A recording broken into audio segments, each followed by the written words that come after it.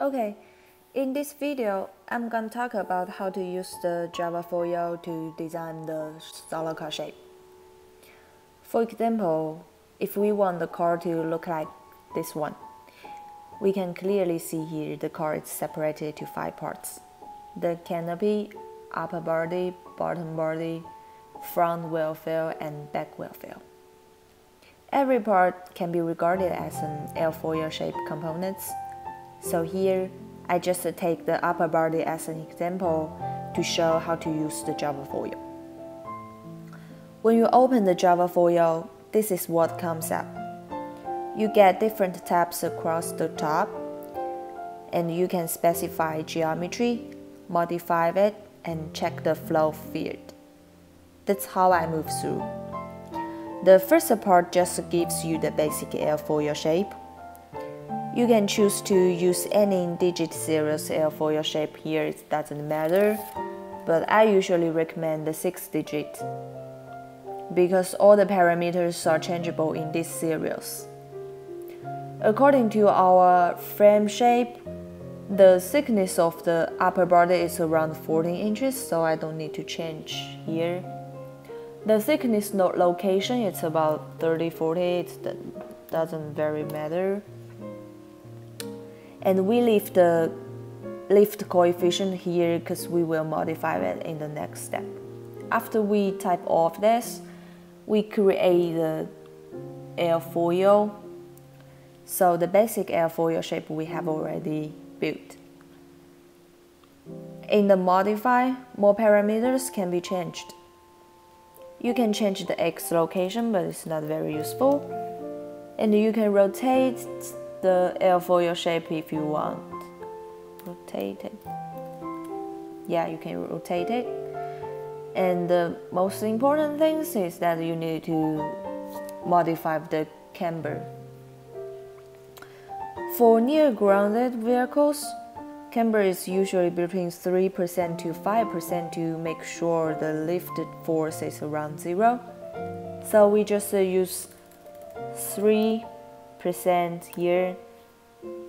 And since our car is near the ground, we need to go to the options to select the ground effect. And we go back to the modify to make sure our car body should above the x axis since the x-axis is the ground.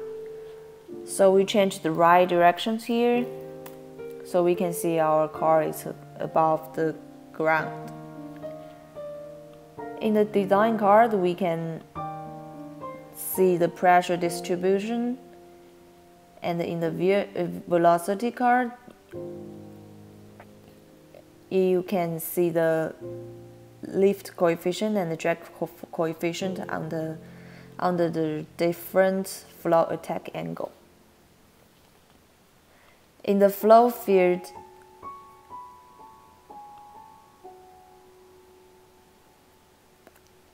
we can observe the streamline and the lift drag coefficient under the specific flow attack angle we simply think the flow attack angle is zero here and the streamline looks like this. The lift coefficient is normal and the drag coefficient is small. We can change the camber number here like if I type the 1% and go back to the flow field to analyze it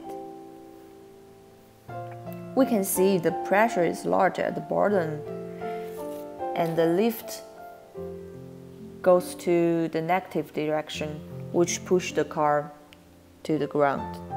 So it's not very good. That's why we usually choose 3% to 5% camber of our car.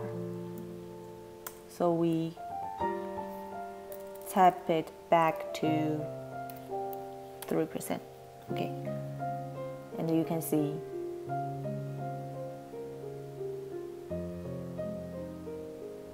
the pressure is more constant and the lift is small. You can also change other parameters to see how they influence the lift and the pressure. So you can play around this. After we modify the shape, we go back to the geometry and uh, copy the text.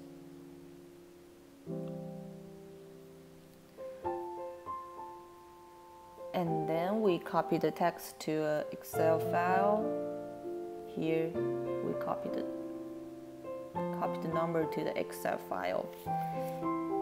And we need to reorder the XY direction according to the axis in the SolidWorks. From here, since we are doing the upper body, so we need X direction is Z direction here. Y direction is Y direction and the X direction is zero. So we go back to the Excel and make sure the X direction is zero and the Z direction is X direction and Y direction is Y direction.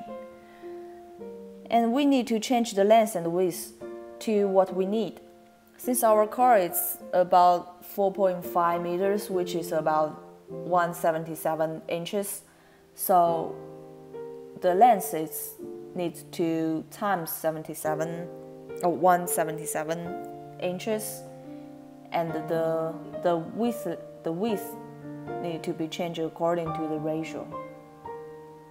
So the length is 177 and the width is here. After we modify this, we copy the shape, copy it to a text file and save it so we have the upper body shape.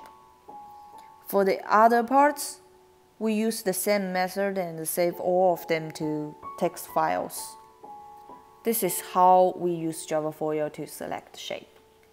How to import the shape into SolidWorks will be introduced in the next video.